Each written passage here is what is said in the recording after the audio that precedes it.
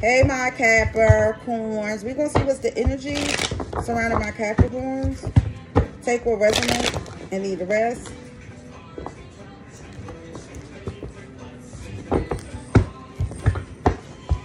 see the Queen of Pentacles here. Okay, something popped out. Okay. I see the will wasn't in favor of something in your past. Or maybe it was bad luck here. Holy Spirit, what is the energy surrounding my Capricorns?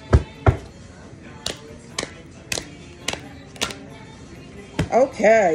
I see that you may be blind in a situation or somebody blindside you. You don't know which way to go in a situation. You could be dealing with an air sign energy.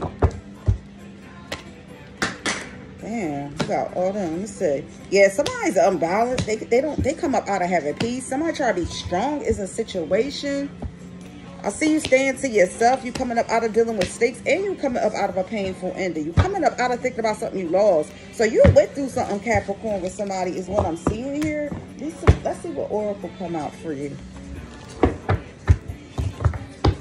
I definitely see divine timing here. Gossip here. Let's see. Just peeking his ugly head out. Okay. Decisions and choices that you need to make here. This is the energy that I'm seeing for you peace.